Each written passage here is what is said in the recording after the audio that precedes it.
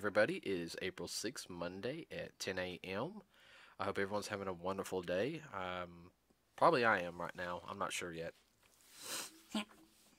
Uh, just to let y'all know, I'm going to be sneezing a little bit. I did yard work this weekend and I kicked up a bunch of dust. I have bad allergies, and it is pollen season here in Alabama, so yeah, that's all I'm going to say.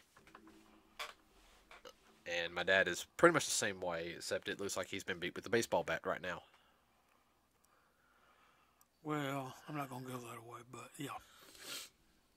So you're gonna hear hear a little sniffling from us. Uh, it's like I said, it's it's allergies. We don't have uh, the virus. Okay, everybody. I know you guys. We, we've been pretty much. It's just been us three here at the house, and when we run out, we've had masks on and everything. We wash our hands, so we're fine. It's just that we are going to be probably sneezing a lot. Okay, so as promised, we said we were going to do uh, the DC cinematic universe. Now, to let everybody know, of course, the DC cinematic universe is not as well established as the Marvel cinematic universe. I'm waiting for a like response. Oh, waiting for a response. No, it's just now getting cranked up, to use an old expression. Yeah, and that's that's one thing I thought we would talk about a little bit on it is how it got started. You know, uh, we're gonna start off with the first movie in it, which I know we we've only seen two DC movies in theaters. All the other ones have been at home here at the house. Right. And we'll talk about those later. Um, the first one, of course, is Man of Steel, which I'll pull up all the information. I should have, I should have it written down right here. That's that's actually my fault. But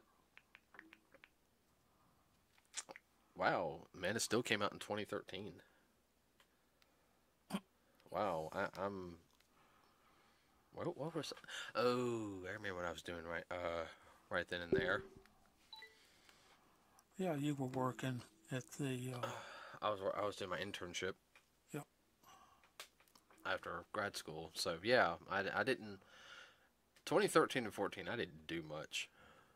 You know, those first two years out of grad school, and you know, about to hit the big 3-0 finally and getting your life together, you didn't get you miss out on a lot of stuff. Uh, we saw this was it last year?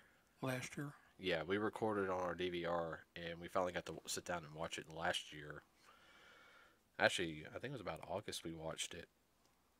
Yeah, sometime along in there. Yeah. Um. We were rather impressed, to say the least.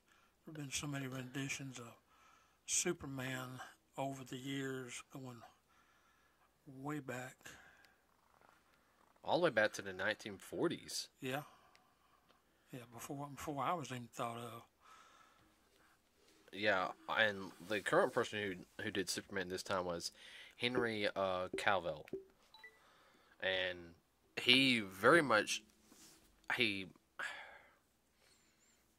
he looked like Superman. You know, of course, all all the people who you know done different variations, and this is more of a modernization of Superman. And this came about the time when they when DC did their new 52, where you know they kind of revamped. It was like around that, you know, they had 52 going on, which is only supposed to be like 52 different universes in the DC, you know, comic book world. And then they did Rebirth, which is like they rebooted it again, and I think they're about to reboot it again here pretty soon. I'm not sure. I, I really need to talk to talk to Stan, and you know, since he knows all that. But yeah, um, so th- I'll have to say the first thing is, which everyone knows, is it it was directed by Zack Snyder, which it has a darker feel to it. It's well, yeah, darker feel, more adult. This is not your uh, G or PG type film. This is not the uh, quintessential Boy Scout Superman. This is a, a little more based in reality. Yeah, he, he has the Boy Scout tendencies and everything, but at the same time, he very much has where he understands where things have to get done. This is not a CW Superman. Um, I would I would have to say if he showed up on the CW, then all the villains would you know cower in fear. Yeah, to say the least. Yeah, n- nothing saying that the previous um I can't remember his name. The previous guy who did Superman and Superman Returns, I mean, he did a good job for the film because that was actually that one was based in the um oh crud, what was it? Um the Superman who got paralyzed. I can't remember his name. Christopher Reeves. Chris, Chris Reeves. Yeah, he was actually the Christopher Reeves Superman. Yeah, type. No, no, no. It actually story wise, it was technically Superman five. Yeah. and then he re- just reprised his role again as Superman in the CW like crossover like collision thing. Um, but Well, the, nothing wrong with those movies. I mean, they're a little more kid friendly, I guess, for lack of a better term. no, and you're right, and you know that's that's the big difference between them compared to the Man of Steel. I mean, Man of Steel is very much a lot darker. I mean, you start off on Krypton, and you have Russell Crowe as Jor-El, the father of no, no, is it? Yeah, Jor-El, uh, the father of Superman, and I noticed the one big difference they did was it it had a futuristic feel, but it, you can sit there and tell it was also very much war torn in a sense of of I guess inner conflict. Well, they were on the verge of civil war, and they were they were having intellectual civil wars. What was going to happen, or was it going to happen? Right. Uh, As far as the world blowing up. Yeah. Well, it, you had that, and then you know you had all of them. They had like their armor in this one compared to uh, other incarnations where you know they wouldn't have. They have probably their weapons. I mean, this one very much.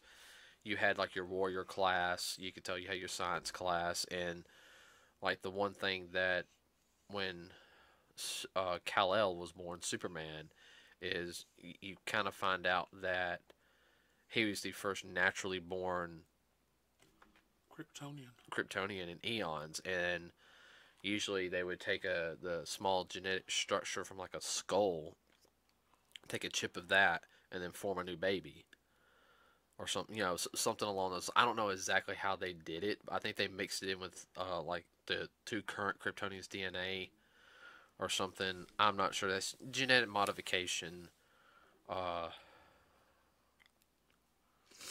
I don't know whether it didn't really go into a whole lot of detail. No, it didn't go into a whole lot of detail on that, but You the- just know it wasn't natural. yeah, and It was a super glorified test tube type babies. yeah, but um, you know, Jor-El, you know, he put all the DNA into Superman, uh, which we'll explain about that here at the end of the podcast a little bit. But of course, you know, General Zod, you know, he was doing his thing, and he got captured and then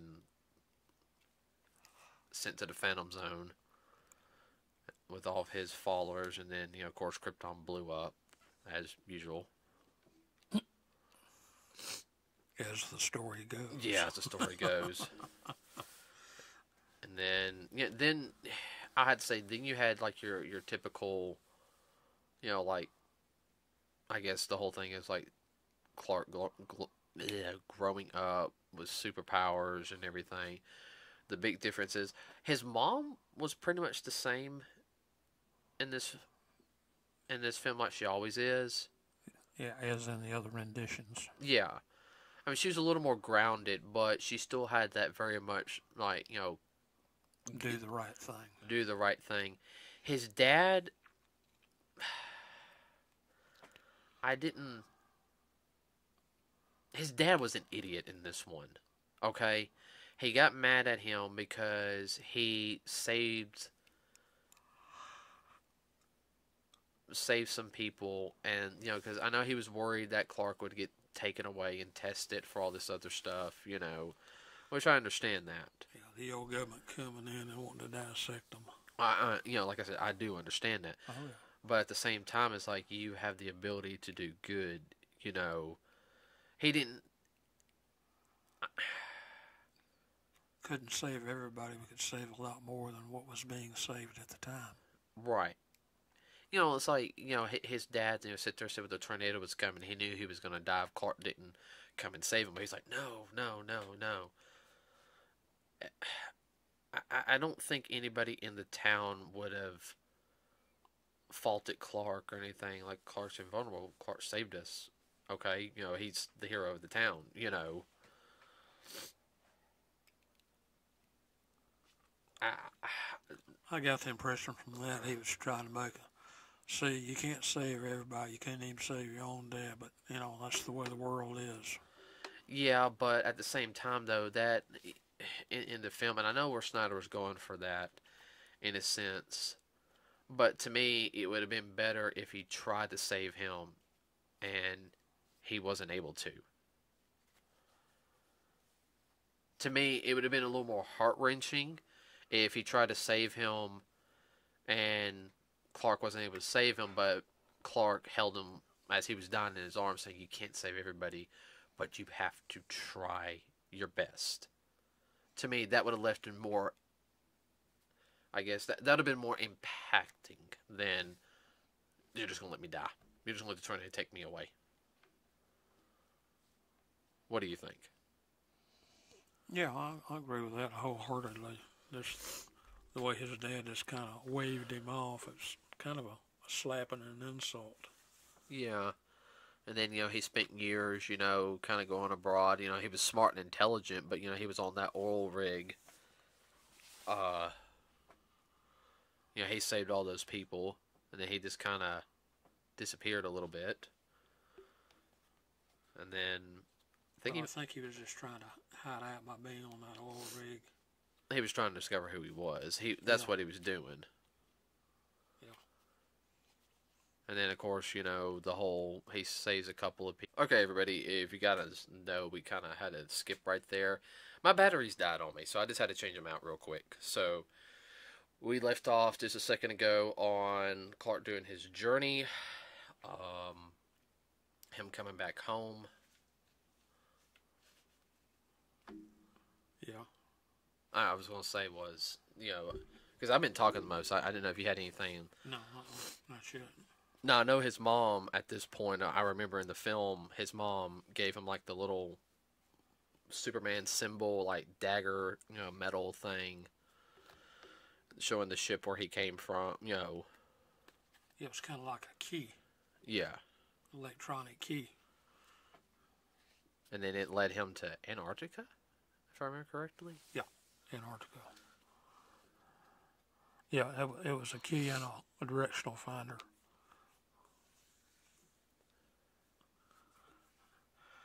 or like we would say in the country, it was it was just it was like a bird dog, led him right back to the mothership. Right now, I know. Of course, you know Jor-El came up and said who he was, and then you know he got his suit. Um, I know it kind of did the whole thing is you'll be stronger than them, you'll be like a god to them, and every rendition of Superman, for some reason, always does that whole thing. Superman is the closest thing to a god we have. That's always that has always bothered me, in a sense. Well, that's true to an extent, but it's swell a lot of people's head heads.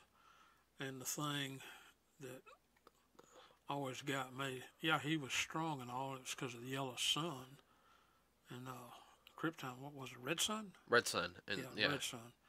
So anybody from Krypton, if they were to land there, well, they would have the same powers. Yeah, because of the radiation level would be different. Yeah, because of the yellow sun. But now, uh, get this also. Did you know if a human went over to Krypton and, and was ra- raised and everything, they would pretty much almost get the same abilities also? Because here's another thing is that they, I think they said that one incarnation of the comic books, they said that uh, the gravity was a little heavier. What on Krypton? Yeah. Yeah, a little, but not not significant amount. Oh, I know. It, it's it, it. Not like Jupiter. Oh God, it'd be crushed like an egg. Uh, and I have to admit, when you look at the suit, you don't see the the red trousers like the red boxers on the outside. That's that's the first thing you notice. You notice it's a darker, it's a darker blue. It's a darker red. Um, it fits with the tone of what Zack Snyder was doing. Uh, I actually like the way the suit looks. What about you? Well, it was more adult looking. It did. It wasn't what I would say kiddified with the, the light blue and then the red boxers on the outside. Yeah. I do know the cape was mostly CGI, especially like when he's like floating, which that's fine. I mean, uh, Yeah, it doesn't look too good when you use the fans. nah, nah, nah, nah, It nah. doesn't work. And then, of course, you know, Lois doing her thing, you know, being Lois, trying to find out who he is. Well, she's a good investigative reporter. Oh, That's yeah. what her job is. Oh yeah. You know, Perry was a uh, was telling her, but you know, I, I want, I don't I want this. I don't want the Superman. You know, because I think around this time Clark was just now coming going over to Smallville. Uh, no, I meant not Smallville, but um, Metropolis. And you know, he was still He was still a country boy in It- a big city. country boy in big city, yeah. And then of course you know what what what happens? Zod appears. The bad guy finally appears. You know, f- tracking Clark. You know, Number one nemesis. right? And then uh, I think at this time Lois actually made an appearance. Yeah, she actually did. Like she actually found where Cl- you know Superman stayed, like Clark and everything. Right. Now, I do remember, know, of course, when Zod appeared, you know, Superman never fought anybody at this point. Supervillain. Everyone's always been a normal person, you know, just tap them, you know. He knew how to fly, but he, he never he didn't have the combat experience. Yeah, well, that's true. Of course, General Zod, he'd been he'd been around the battlefield two or three times where Superman had not been, didn't have life experiences that he had. And you know, at first, you know, the the first time when they fight, you know, you know, they had the armor on, he didn't, Right. and it was kind of interesting in the fact that, you know, it's like you know they weren't used to the sun. You know, they had their they had their protective suits, and Clark did what he could against the what little soldiers, you know, little soldiers they had, and then let's see if I remember correctly, they had one ship on one side of the world and another ship on the polar opposite side of the world. Right. Because they had um, they had to change the planet to be like Krypton's atmosphere, Right. which to Clark was somewhat deadly because he wasn't used to it. Well, they were terror they were terraforming it to uh, their world. Right. And then of course, you know, the big battle happened and, you know, Clark, you know, destroying one of the other bases and all that. The Do you want you want to tell me like what what you told me earlier? What it Yeah, but I'm, yeah, well, I will in a second. I, I just didn't, I didn't Oh. know how, you know, on this scene right here, you know, uh, oh, I remember is the scene where they found out that all the the Kryptonian DNA of all the other that they could use was in Clark's blood, and they didn't need Clark alive to extract it. Well, he was kind of like um, what's the word I'm looking for? He was a walking biological encyclopedia of Their world, of their world. right? He was way past a supercomputer because everything was encoded into the DNA that was in him. Right. And then, you know, of course, Clark being Clark, you know, he didn't know. He's just, you know, you, you can't hurt these people, you know. If I remember correctly, he tried to reason with them at first. Well, of course, you know, it's Zod.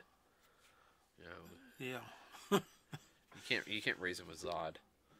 No, all he understands is force. Force and you and kneel before me. Um, I remember,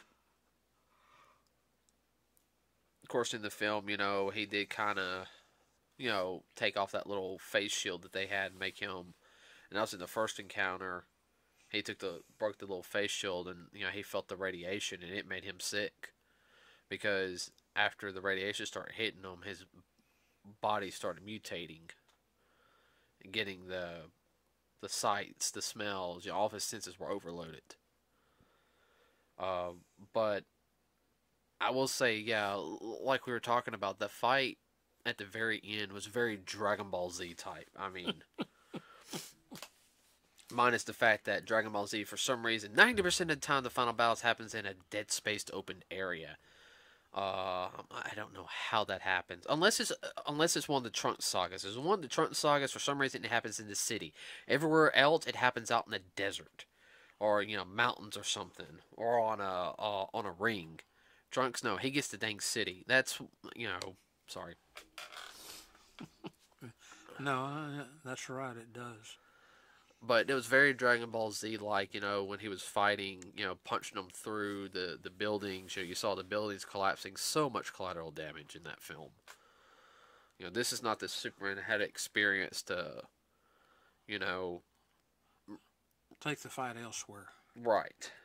He was more raw emotion. Oh, da, da, da, da, da, da. I mean, overall, it was good. Um, I know when Zod took the armor off, you know, he basically sat there and said, uh, "I have more combat experience than you." And of course, you know, he had to snap his neck at the end, or those people would have died.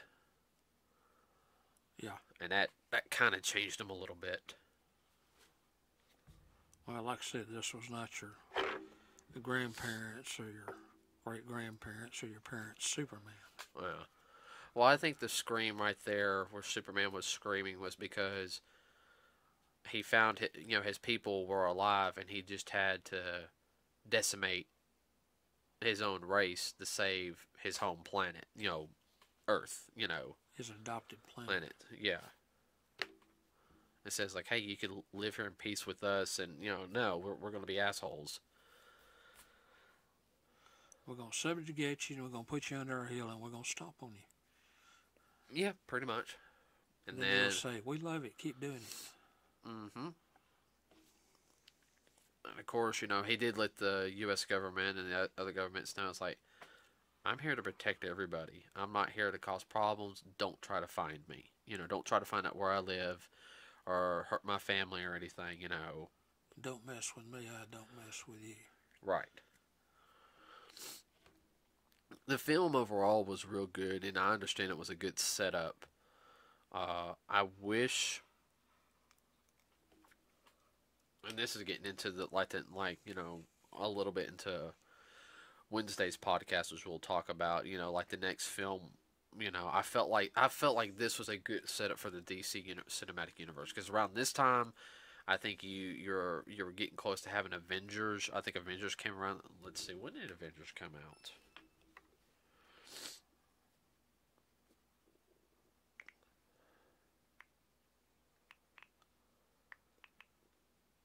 Okay, so the Avengers came out a year prior to this one. Well, it was still a good setup. Oh yeah, and uh, if Warner Brothers didn't rush anything, it could it could have been really good, and that's something we'll talk about. Yeah, they were just trying to pump out content without realizing the consequences in the long run. Oh yeah, and you know, of course, you know Warner Brothers. You know, the the, the marketing executives don't know what they're doing. You know, I'm, I'm sorry, that's what I'm going to say. Now, I do know. Like I said, overall, the film was really good. I know Henry Cavill, he reprised his role as Superman, and the, the sequel film, Justice League, and that's the only films he's done so far. You know, he's supposed to do another Superman film, but as of right now, I think he just did the Witcher series on Netflix. Uh, that's the reason why he couldn't make the cameo cameo in Shazam. That's why it was just a, this somebody who had the same body frame as him. You know, because he was he was in mid production. He couldn't, you know, just Drop what he was doing. not not for like a what a 10 second cameo. Yeah. You know, I don't know if he's going to do any more Superman. I, I kind of, I really hope he does because I liked him. I, I do like him as Superman. But overall, I mean, the the this first film in the was, I would have to say, it's good, but some of the other films were are way better. Well, Superman has been done so many times. How many different ways can you do it? Uh, I, I, you never heard of this one? Never heard of uh, Red Son? Actually, I have. I've heard of it, but I've never seen it. Well, it was a comic book, but they just made an animated Yes. movie uh, about it. It was Superman if he went to if he landed in Russia.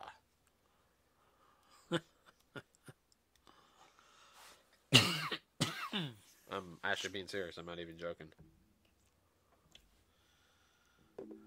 Well, that's no, another universe. Oh yeah. Well, DC's like their whole animated stuff is actually really really good. But oh, let's see. I don't know. What what what can you take away from the film? What do I think of what now? What can you take away from the film? Well, to me, the whole thing was a setup, basically. You know, I was wondering, well, okay, now what are they going to do next? That's what I was left with. Yeah. Well, I mean, they didn't introduce any of his classic villains in it. I mean, you didn't Lex Luthor was not introduced in this film, which that was fine. That didn't bother me one bit. Sorry, everybody. But I think the introduction of Zod was was more so uh, had a bigger impact in the film, in my estimation, than in other films where they just touched upon it. I mean, I wish Zod would have stayed around a little bit more, but I understand why he was a one and done villain in this one because it was supposed to be, you know, that set Superman's like, hey, there's people like this. They could be, you know, there's worse people like this also, you know, and the the duality of also of him having to learn how to balance between being Clark and being Superman as well as Yeah, he was definitely walking a tightrope. yeah, and you know his mom. I had to say his mom did a lot more in this film to really help push him in the right direction. You know, hmm and of course, you know that it's like it's that's always the whole thing is you know like you know the mom can always he- you know can always help steer the son a lot better than sometimes the father can. She reinforces what the father taught. Does that make make sense, Dad? Yeah, it does. She puts her own little spin on it. And the roles are usually reversed when it's a girl, because you know girls Yeah. listen to their dads a lot faster than they listen to their moms. And that's all I want to say. No, it's don't chase that rabbit. No, we're not going to chase that rabbit hole. No, no, no. Mm-mm. Okay. Um. So on Wednesday, everybody, we will be talking about Batman versus Superman, and that's going to be a fun one. I ha- I have so many things on that one. That I like I said, I enjoyed Man of Steel. Yeah. The, the, the- the next one, I, oh man, Interesting. You know the bad thing is we still haven't watched Justice League yet. I to know. That's the only film we haven't watched yet. That and the new Birds of Prey movie, which I'm really not really eh to go see. I- I'm just nah. Eh. Eh, I'll wait till it comes out like later. And it ain't because it's you know a girl's film or anything. That don't bother me. Like I freaking love Wonder Woman. I'm looking forward to Wonder Woman too. Well, I thought it did a real good job personally. Yeah. Oh, I know. Well, that- that that'll be the that'll be on. That'll be Friday's talk is Wonder Woman. And oh, Actually, something came out before Wonder Woman. what? Aquaman. No, Aquaman came out last year. That's right. We just didn't. S- okay. Yeah, you're right. My bad. We saw Aquaman first, Yeah. And that that's the first one that takes that that takes place after Justice League. I think is the way it's supposed to. Yeah. And Yeah, yeah, we saw. we saw that because remember our, our friend Ariel wanted to get a group of us for her birthday because she really likes Aquaman. She she's in love with Jason Momoa. Uh, like Well, we'll get into that later. yeah, It's a good movie. it, yeah, but no, no. Uh, so Batman and Superman will be on Wednesday, everybody, and then uh, uh then we'll do Wonder Woman, and then next week we'll do Suicide Squad. Um, then the following Wednesday will be Aquaman, and then Shazam, and that'll be all, all the all the ones we've seen.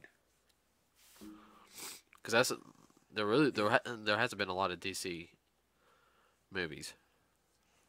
No, I don't know what their deal is. I mean, you know, with the with the virus going on right now, you know. Speaking of which, everybody, if you don't do not know, uh, and I know this is not DC related, I don't know when uh Wonder Woman two is going to come out. We'll make an announcement of that just to keep some people heads up. But I do know Marvel's Black Widow has been moved to November 9th this year, so there's that. That's all I, I'm going to say on that one. So, like I said, Wednesday, 10 a.m. will be our next podcast, everybody. I hope everyone is wearing their masks when they go out. They're heeding the orders of no get uh, major gatherings. Uh, we know it's a hard time, everybody. Trust me. I'm I'm itching to get out a little bit more than the the backyard and the front yard and the house, and then going to Dollar General, uh, just to get some basic supplies. But you know, we got to keep everything down. Wash your hands, keep yourself clean, Lysol spray or whatever you got to do. Uh, the, the, the, the, Eat proper. Take your vitamins. take your vitamins and don't be a jerk please i mean i've read i've had friends who have messaged me said i had a horrible day uh I had to stop somebody from assaulting somebody at work because we didn't have this. I had somebody try to spit on somebody. I mean, just guys, just Chill. yes, please. Quit being a bunch of, uh, I would say, Sorry my, about my that. terminology, a bunch of little hooligans. I wasn't gonna say hooligans. I'm gonna say quit being a bunch of little brats, everybody. Yeah. Oh, I'm sorry about that, everybody. That is my uh, that is my phone. I got people uh messaging when that was supposed to be on mute. So with that said, everybody, uh, we will see you on Wednesday at 10 a.m. If you guys like what you hear, please subscribe to us here at Nerds with a Cause on YouTube. You can also find us on Facebook. We will be having more content coming out soon, especially when the convention season kicks back up and we can all move around again. So with that, yeah, with that said, everybody, we are out.